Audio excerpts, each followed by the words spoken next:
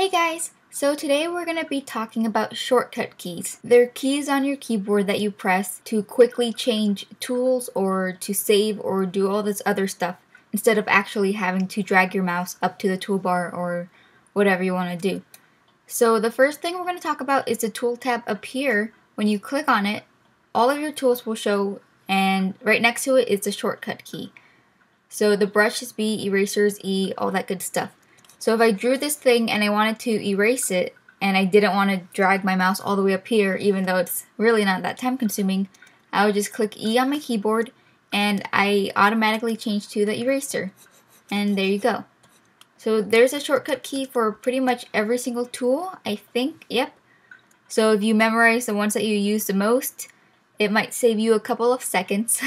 to be completely honest, I don't really use shortcut keys for tools but I use them for pretty much everything else. So I'm going to talk about the really important stuff, at least to me. So one of the important things are filters, I guess.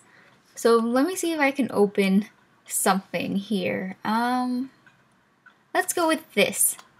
So here's a doodle thing that I have. And let's say I wanted to change the colors a bit. If I use a shortcut for, let me see if I can find it up here. Up here where it says filter, the filter tab, there's levels and hues. I end up using the hues a lot, so that's Command U for my computer, so let me just do that. And this thing will pop up. And then I can change the saturation and the brightness, and that didn't look very good. And all that good stuff. And the hues, so let me do that again. Resetting it, change that. Look at all that cool stuff. So this is a really easy way to change the colors. So I use that one pretty much all the time. And another filter is Command L.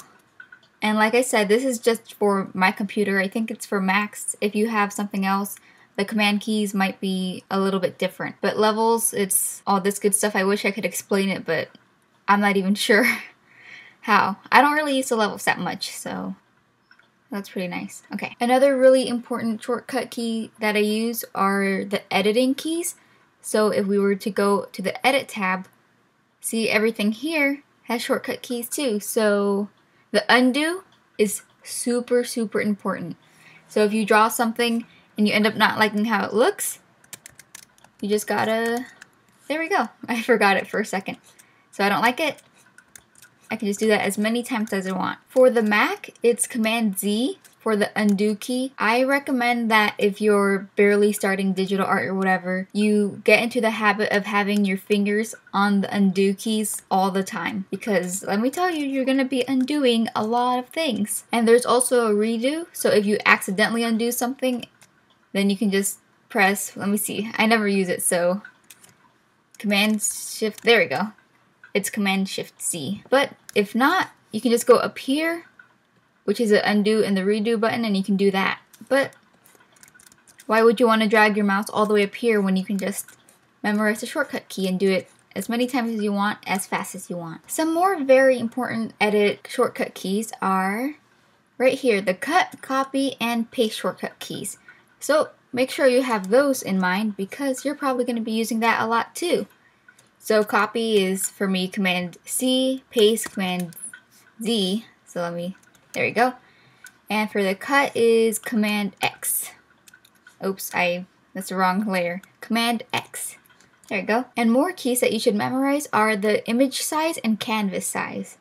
I am going to show you the difference right now because they might sound like the same thing, but they are definitely not. So let me go to this picture again. Let me exit out or crop or whatever. Nope, zoom out. That's what I meant. So the image size pretty much changes the entire size of the image. I, know that sounds like it's a given, but let me show you. So there you go. For me, it was the command option and then I. So these are the dimensions of the picture. If I was to change it to 500, notice that the height also changed to 500. So the proportions, or let me see what it's called. Yeah, the proportions stayed the same. If I was to unclick this and then change it to 500, the height wouldn't change, but it would mess up the entire picture. Notice that? Yeah. So when you're doing image size, make sure it's constrained if, you know, it's necessary. But the difference between image size and canvas size is that while the image changes the size of the actual image, the canvas only changes the size of the canvas, as you can expect. So Command Option C, canvas size. And let me see. So let's change it to 500, the width. And notice there's a red box right here that shows what the picture is going to end up looking like. So press OK and it like crops whatever's not in that proportion. So let me undo that really fast.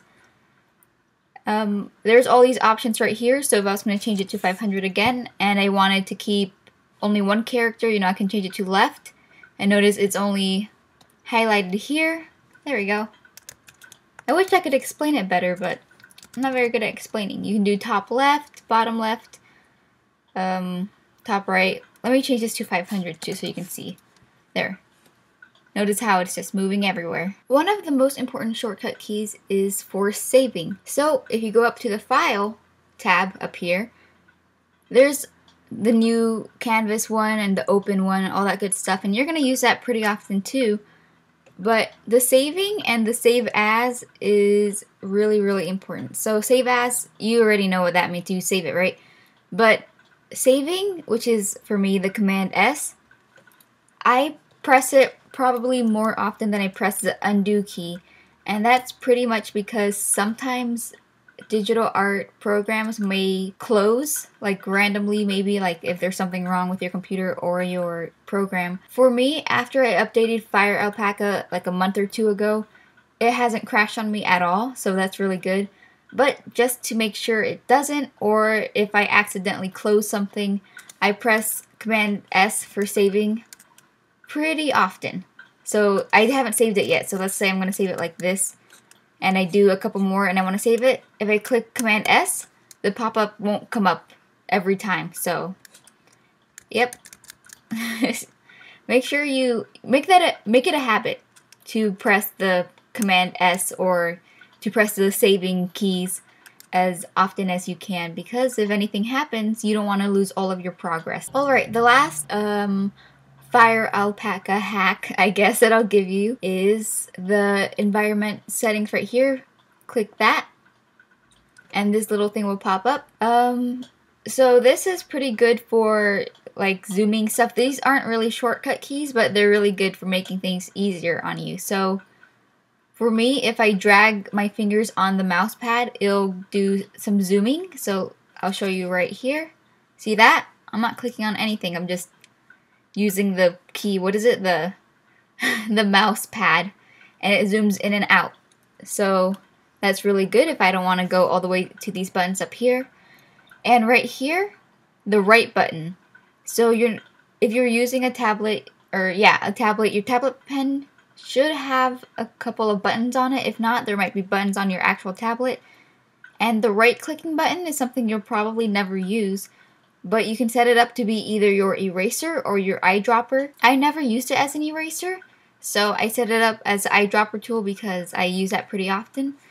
So if I was coloring, if I had to fill in something here, like, oh god, I'm trying to get a good example, but let's say I wanted to draw something else with this color of his sweater. I would just use the right button and notice how it turned into the eyedropper tool. And I'm holding it down right now and then I can just click whatever I want or I'll let it go and when I let it go, the color up here changes to whatever the eyedropper was. So, yep, I don't have to actually go up here to the eyedropper tool and then grab it and then go back to the brush. That's too time consuming for me, so so yep, that's what I use it as. Alright, that's the end of this video. I hope it was super helpful and I hope you end up using this kind of stuff because it can be very good with time management, even though it's only a couple of seconds. But listen, it's really helpful. I do these videos every Tuesday as part of Tutorial Tuesday, so if you want, you can subscribe and you won't miss any videos. I also do speed paints every Saturday. Thank you so, so much for watching. Uh, like, subscribe, all that good stuff. Okay, Thank you. Bye.